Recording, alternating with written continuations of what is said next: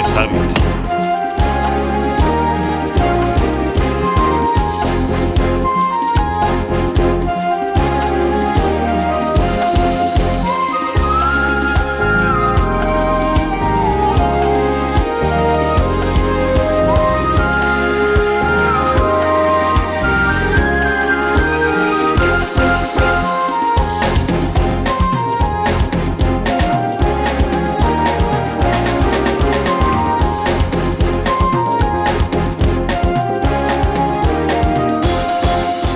Hello and welcome to the program. I am Ekene Ndulue.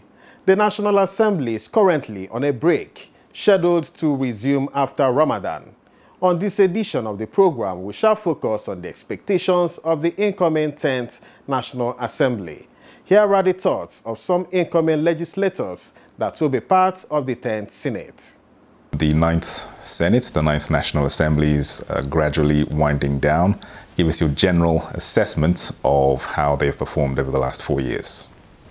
Well, my personal opinion, and with all due modesty and no prejudice to the members of the National Assembly, I feel that they could have done much better.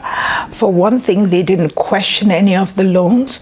We are in so much debt, and we have nothing to show for it at least very little to show for it. And I would have expected that when the first loan was granted, before more and more is granted, they would have then audited what was done with the previous loans. And um, they were primarily rubber stamp. I don't think they served the interests of the people as much as they could have that notwithstanding, maybe they had issues and constraints that I'm not aware of. Generally, the legislature have different legislatures have their um, identities. Uh, you alluded to it that the Ninth Senate has been tagged or labeled a rubber stamp. The Eighth Senate was regarded as being more combative. What are you expecting from the Tenth Senate in terms of its relationship with the executive?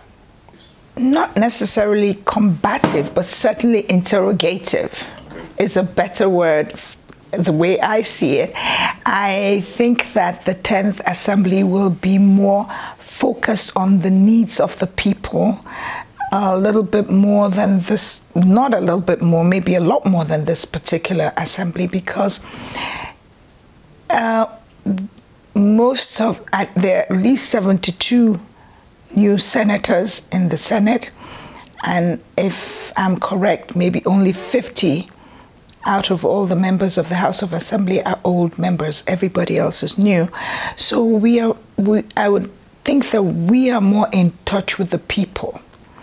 I would say that I'm certainly, and I've spoken to the other. We we we have a feel for the pulse of the people and the country, and therefore we know that the country is in a bad, very bad place. Therefore, we know that they're not as complacent as they used to be. They're angry and therefore are going to hold us more accountable than they used to. Um, you get messages like we're watching you guys things that they didn't they, they they're not as reverent as they used to be. In fact, they are more irreverent now. It's like we elected you to do certain things and you must do them. That is represent us well. So I think that this time we're going to be more focused on the people. I think the caucuses will be more in terms of interests of the people than party interests. Because even now we've started our little senatorial groups, and you can see that we're not very focused on parties. We're focused on zones, we're focused on uh, an area, we're focused on the people generally, but not so much our parties. Party interests should have, they have to align with people interests. We're going to once again be seeing a huge turnover of legislators once the uh, 10th National Assembly comes into being. Mm-hmm. This has been regarded as not too uh, a good thing for the growth of the legislature in terms of its impact. Mm-hmm. What would you say about this? I do not think they will be less effective, considering those that have been there have gotten too comfortable. They've lost touch with the people. So, in a way, I think it's good. Okay. It's good because everybody's coming, at least the new ones are coming in very aware of why are we here. A lot more than when you had a lot of former governors. Everybody's just there for the sake of being there. You didn't see much coming out of it. So I, I think it is a good thing. Until we stabilize as a nation we are not going to be having the three terms, four terms, even when we do, how effective are they for being there so long?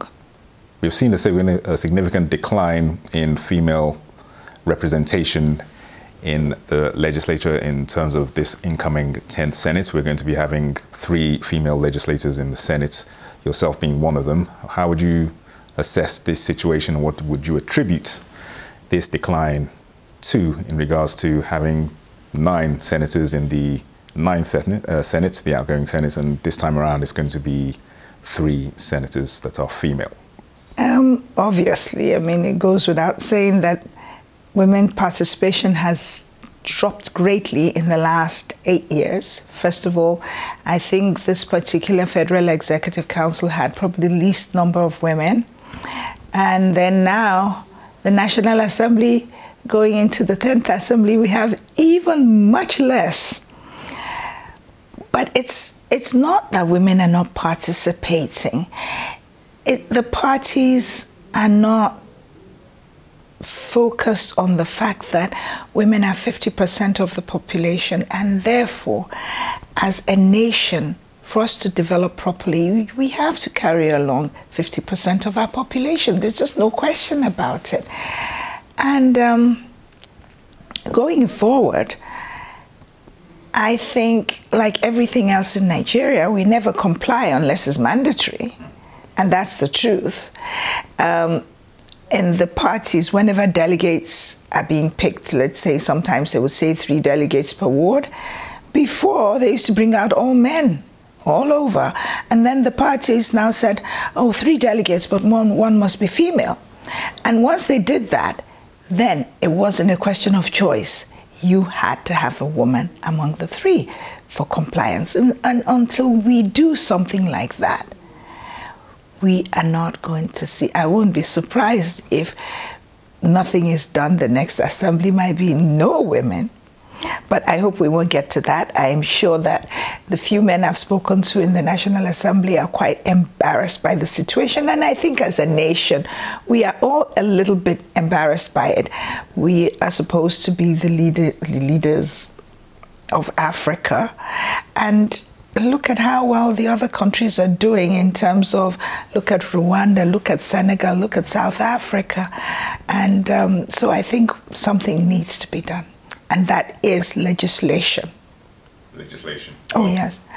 If a country like Indonesia, even Rwanda, and possibly Burundi, they, they've legislated their 35%.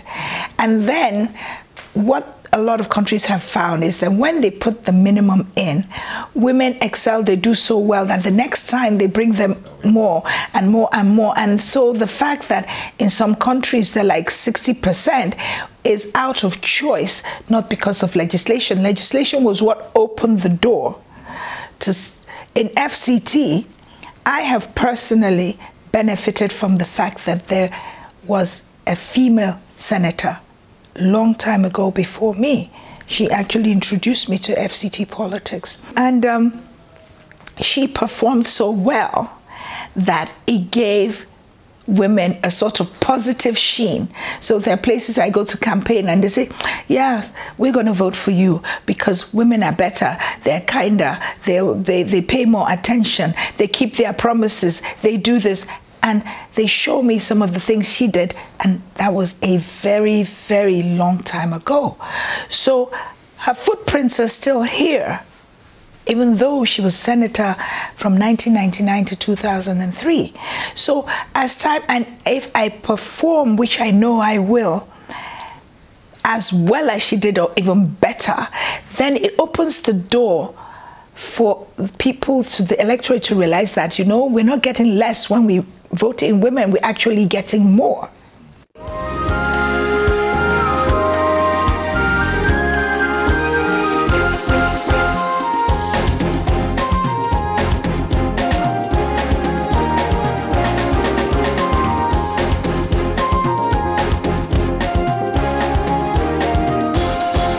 Well, for me, for me, I've always been a gender sensitive person. I've always also supported the gender, uh, the, fem, the feminine gender. What I'm saying, I've been a gender sensitive person. I've always supported the feminine gender in whatever area that is possible. I have a, I had a mother, I have a wife, I have a female daughter. So I want to support them to grow, but I don't want to be to the detriment of tokenism. Uh, just dash them. No, no. I have told people, time without number, in my class in the university, in the microbiology class, my session, who was taught by a lady. She's a professor today. She didn't get it. She wasn't topping the class because she was a, a female. She topped the class because she had all that it took to be to top the class. So all I'm saying is that ladies should come out, step out.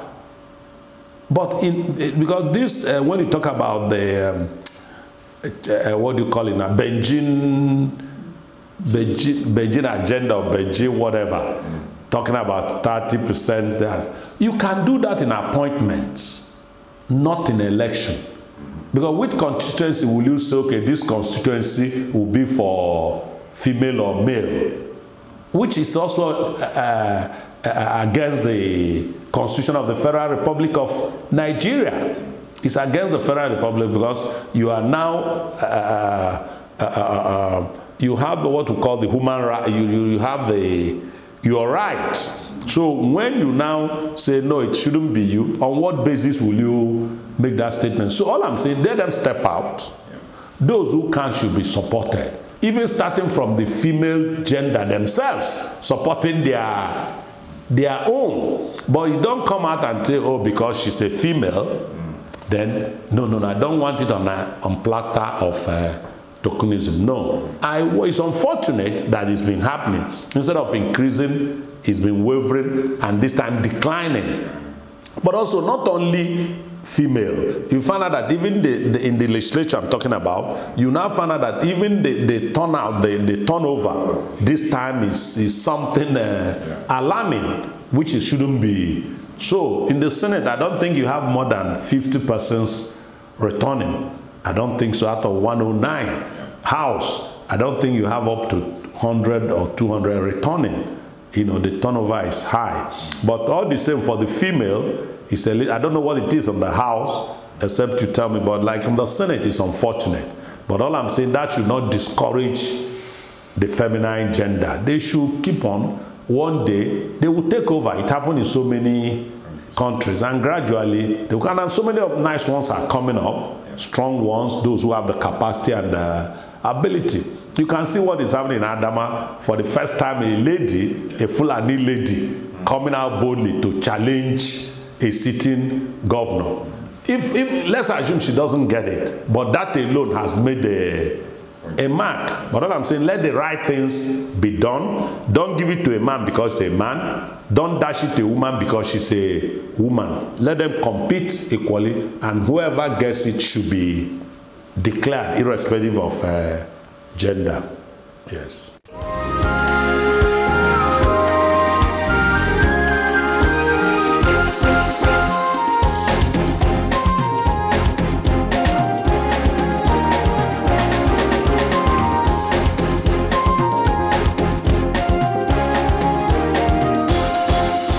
Tenth Senate, and it's going to be it's going to be um, a session that is going to be like no order. I say so because um, the new senators, those of us coming in new, um, it's a large number of us. It, it's almost it's almost um, as many as those. In fact, we are more than those that are returning, and um, we seem to because in the meetings I've attended, I've attended meetings with new members just like myself. They are very energetic. Um, they are very serious about the unity of this country, and we all seems to seem to um, to agree that this country needs to move from where it is to where it ought to be, and we're starting by unifying uh, the country in every way we can, either by legislation or by example that we will personally set as legislators. Um, coming to the leadership, the, the, the rules here, the, the, the rules of the Senate, um, I have not spoken about religion, tribe, or anything in selecting who becomes our leaders. Um, as you all know, the senators say they are first among equals, and so it's within our rights to elect whoever we believe can help us, uh, can lead the Senate um, in a very pragmatic way. A, a, president of the Senate that has a Nigerian look, that can reach out to other segments of the country, a president of the Senate that has the, the unity of Nigeria at heart, uh, a president of the Senate that wants progress for this country. Uh, a president of the Senate that is very pragmatic is the, is the Senate president that I think we should be voting for.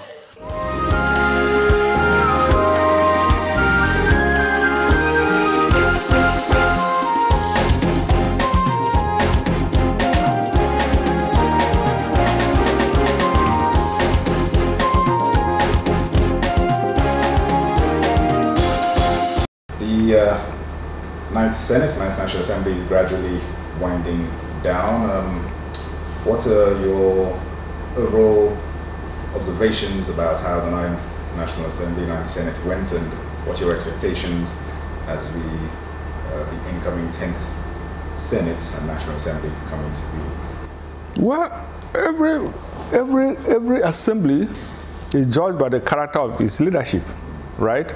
So the leadership of the uh, Eighth Assembly, for instance, was uh, drastically different from that of the Ninth Assembly. That one of both chambers was very combative, right?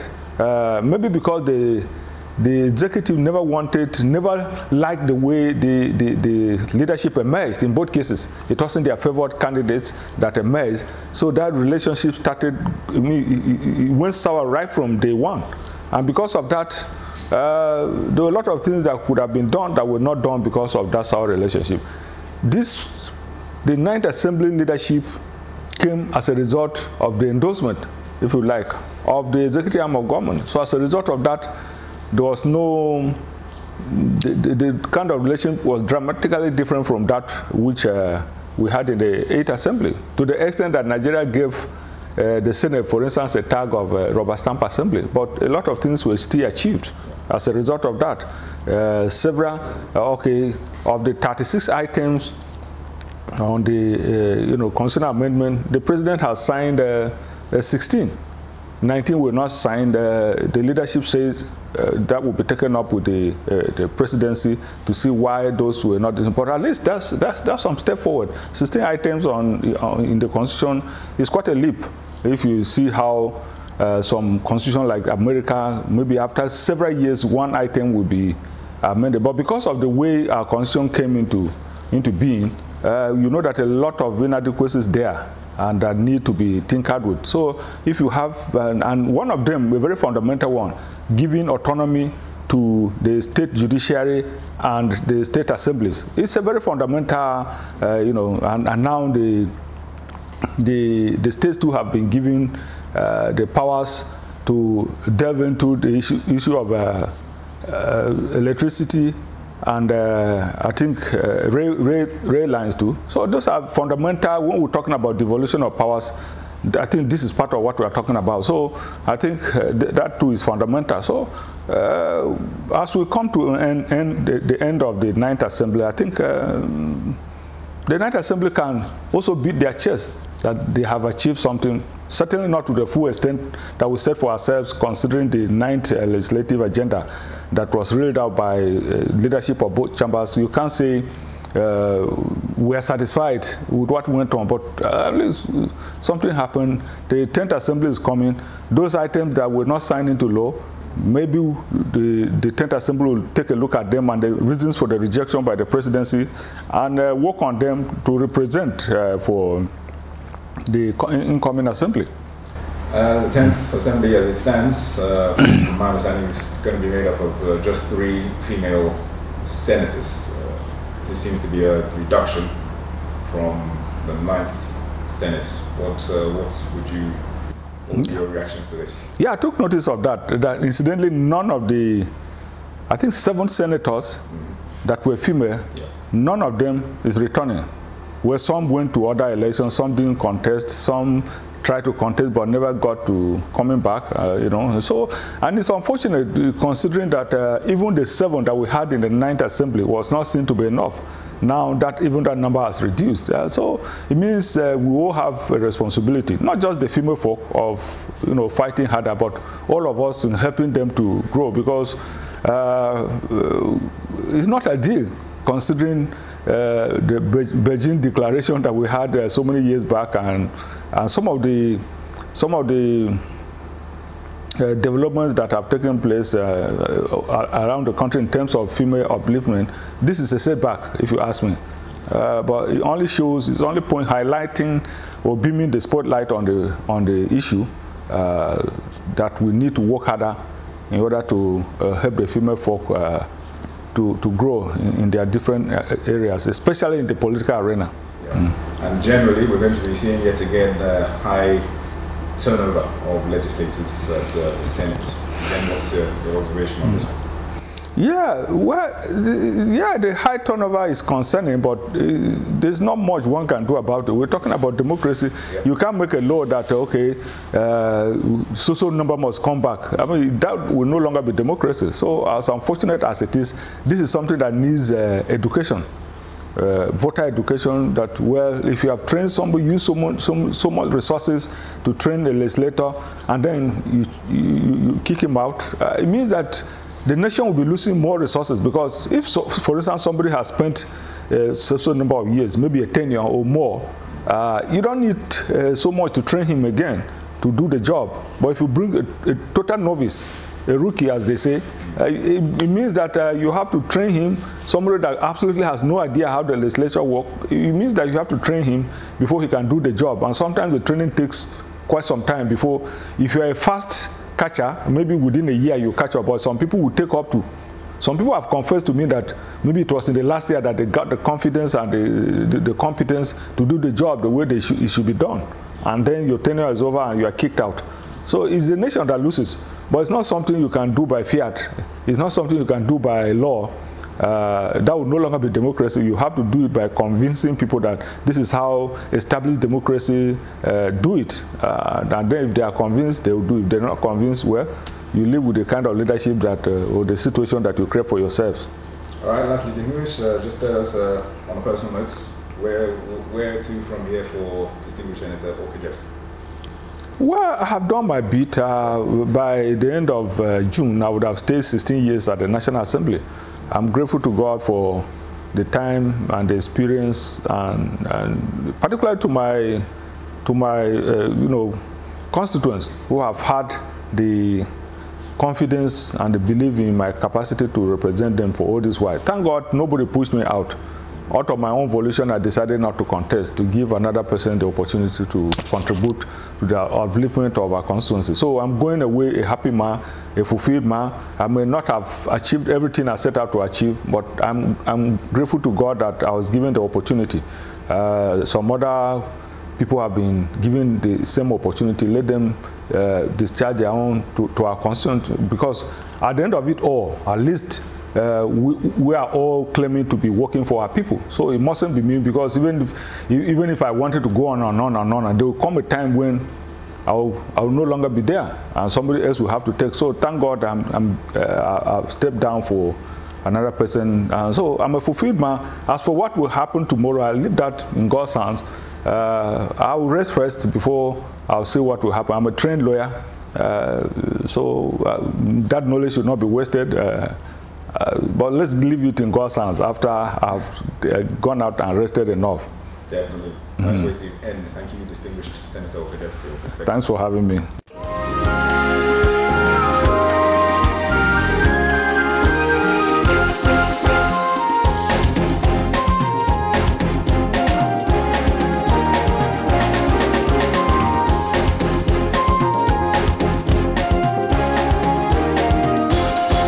That concludes this week's edition of Senate 109. Thanks for your time. You can also watch these and other editions of this program and others online via our NTA YouTube channel. Scroll to NTA News and click on videos. I am Ekene Ndulwe.